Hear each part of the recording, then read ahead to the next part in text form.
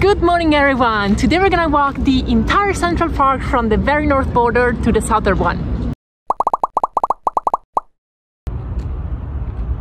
And here we are, same park, same Mary Jane, exactly six months later during the long New York City winter. I'm gonna go through more or less the same spots and show you how different Central Park is throughout the seasons.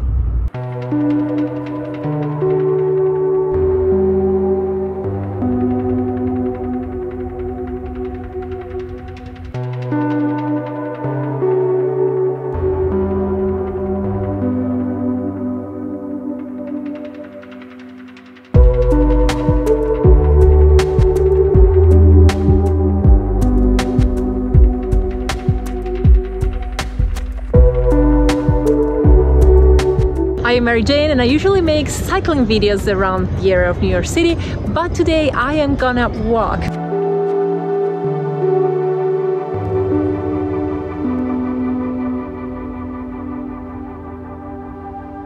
So I just entered the park in its northern border, so in the neighborhood of Harlem.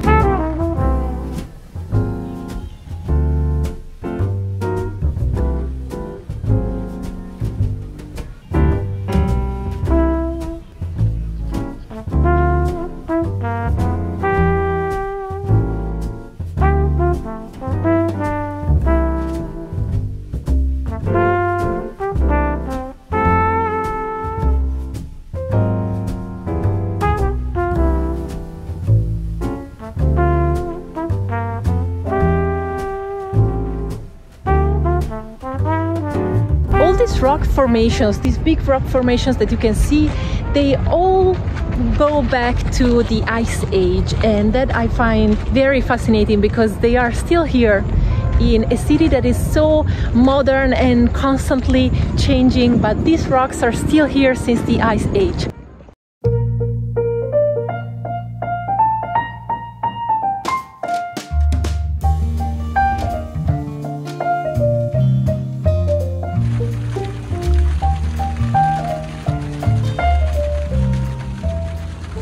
The garden is divided in three sections. Here we are in the northern section, which is dominated with this central fountain, this statue that represents three dancing maids. And this is called Untermyer statue because it was belonging to a certain Untermyer, a wealthy person from Yonkers, and his son decided after he was dead to donate the statue to Central Park.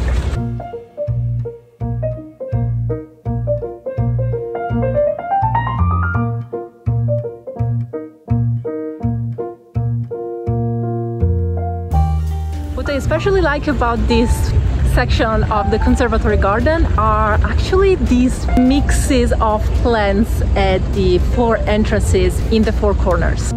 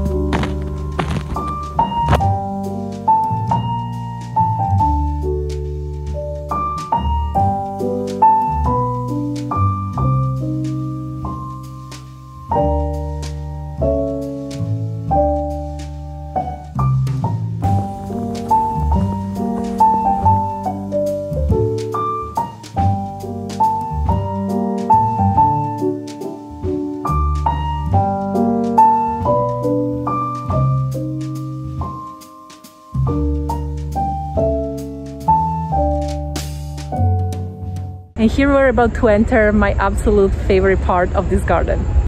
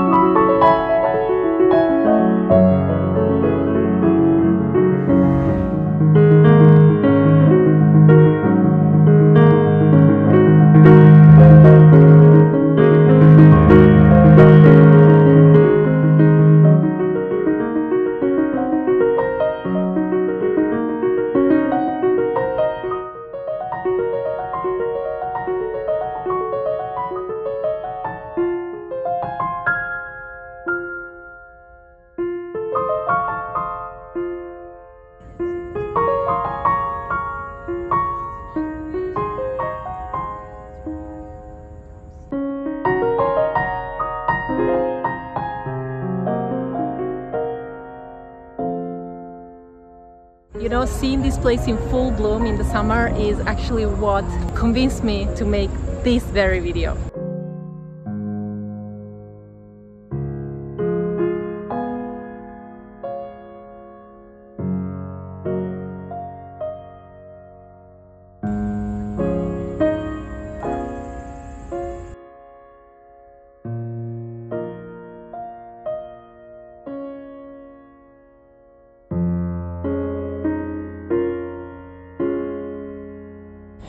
Really stay here all day. But the purpose of this video is to show you the whole Central Park so let's go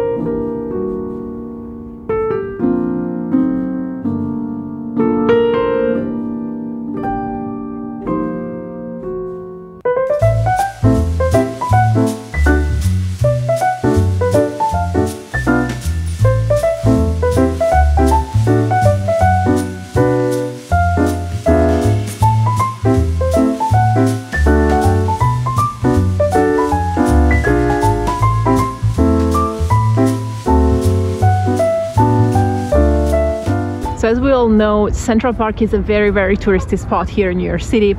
The whole world knows Central Park. But I discovered with much pleasure that about two-thirds of the people who visit Central Park are actually New Yorkers, are people who live here in Manhattan or in New York City in other boroughs and that made me happy because you know it means that it's a really lived park it's not just a monument that stays there for tourists this ring all around the reservoir is actually a running track and so many people i would say thousands of people every day run here in the good season. Now with the snow is a little bit too icy and slippery to run but there are still people who are crazy enough. Ooh, there's one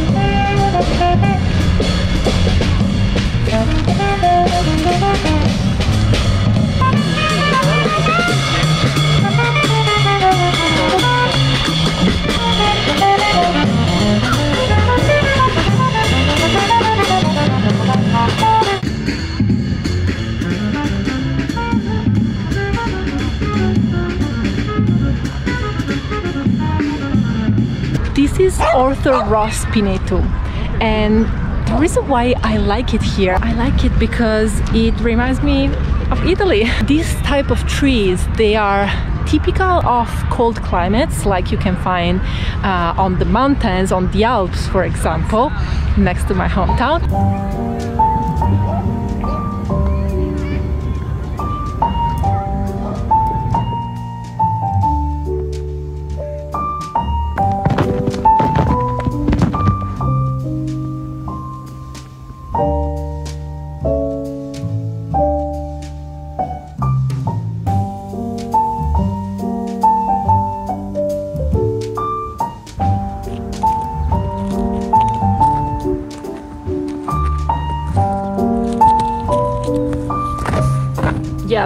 This is the only bit of Alps that I'm gonna get this winter.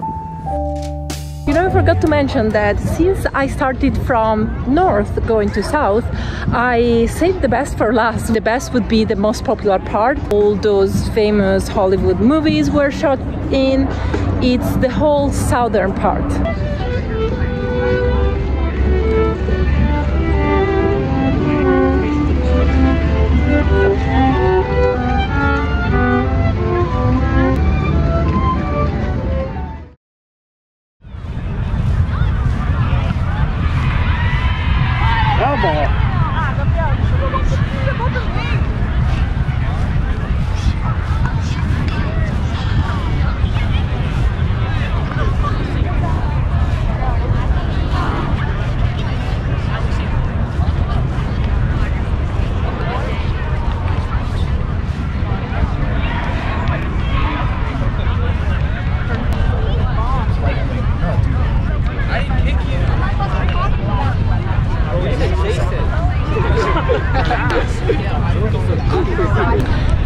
Right now we are walking right in the middle of the central meadow of Central Park. So this is more or less the, the real middle of the whole park, I think. And I'm not sure if it has a name, but for me it is the lawn that has the softest grass. That's how it's called in my mind. Honestly, I'm thinking about laying down on this super super soft grass but there are so many people around that I think it might be very disgusting. I'm not gonna do it.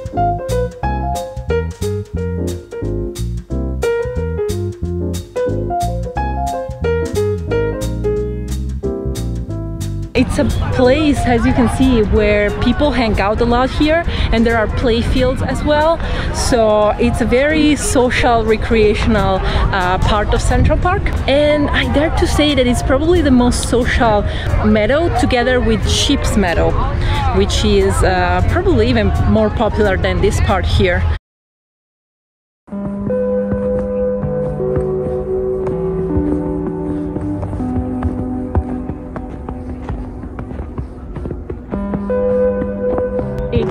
actually amazing to see this place here now because I clearly remember last time I was here and I shot the other video for the summer that it was full of people. There was such an energy here. Everyone was playing was talking chatting laying down sunbathing.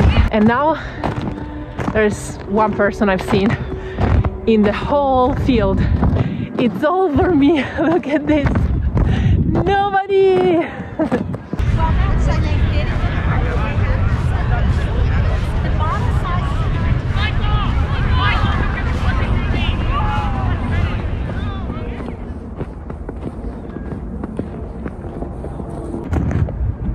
you hear this?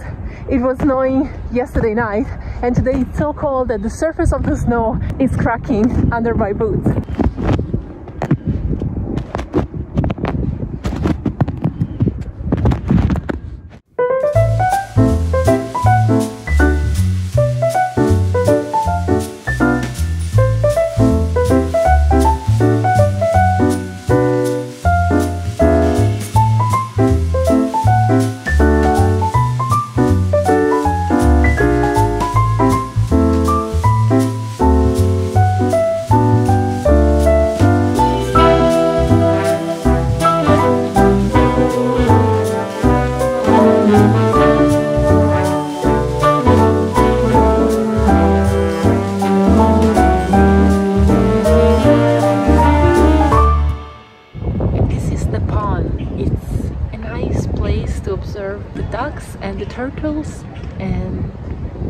Is a nice view on the Belvedere Castle. This one is Belvedere Castle.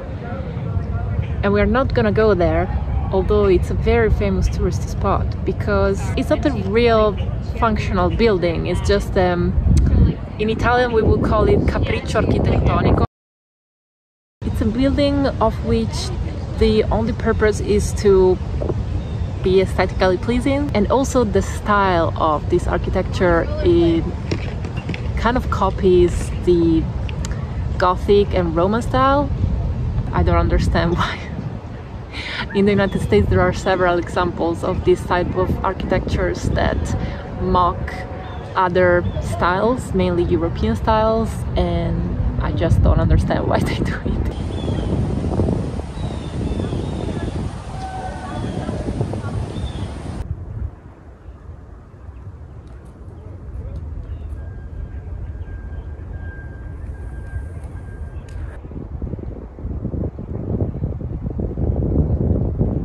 I like the turtles, they are so cute. Now we're entering my absolute favorite part of Central Park, the Ramble.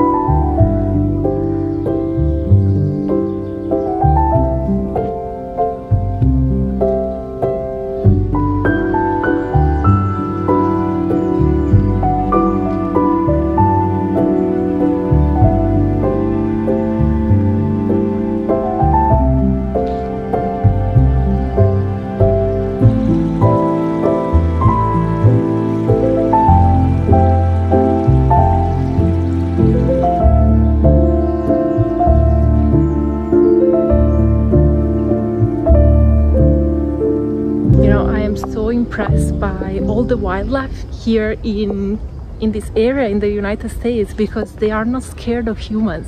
This place is filled with little trails, little paths.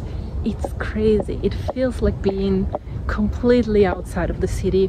It reminds me a little bit of Inwood Hill Park, which is much more beautiful, but it's so much further away from Central Park, from Lower Manhattan.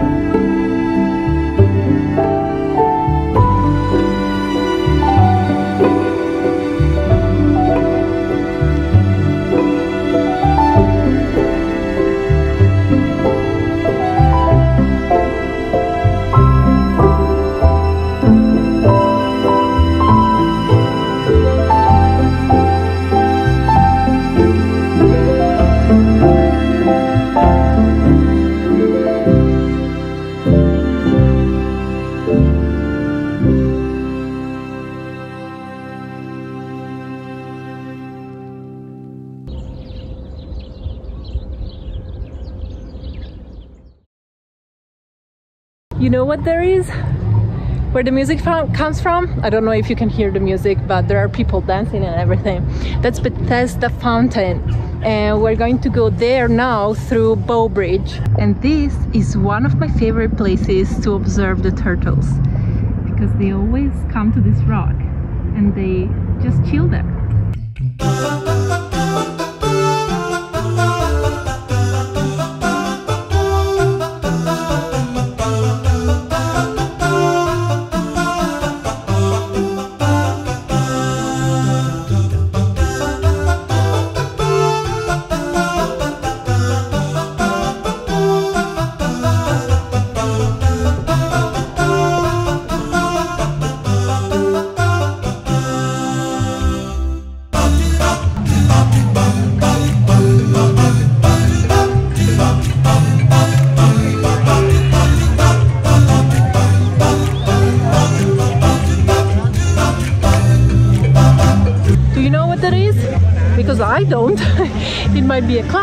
Might be a party, who knows?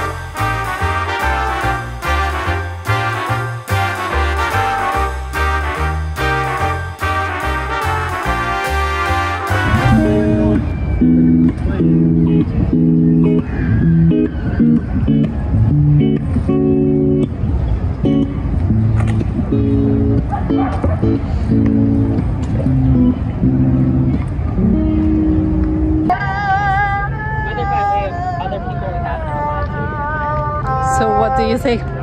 Do you recognize this part of the park? In my opinion, this is like the most iconic part of the park for the movies.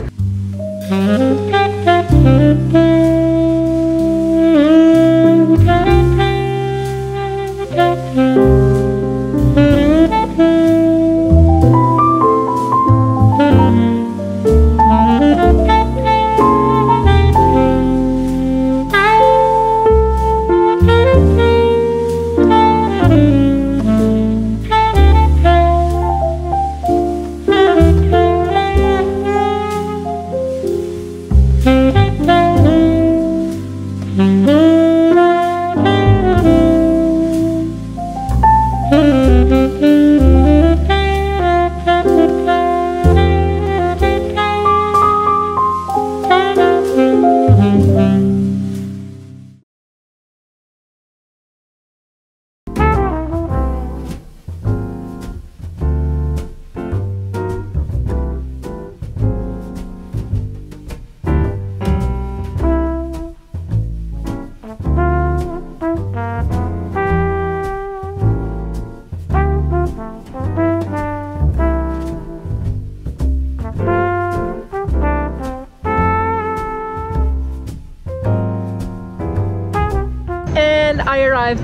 the southern border of the park.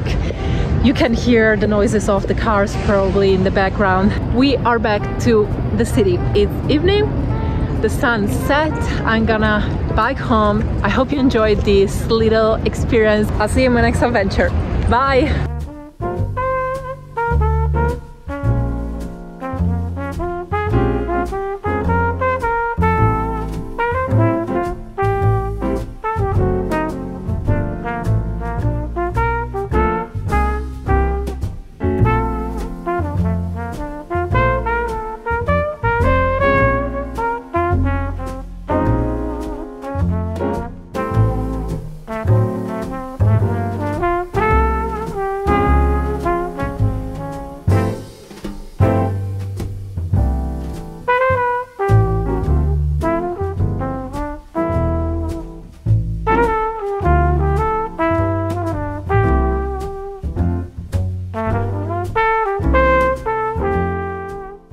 Not a good cinematic video maker, I'm more about storytelling, I know, so this vlog was a bit different than my usual vlogs, but Central Park is such an important part of New York City, of this city, that I really wanted to capture its energy.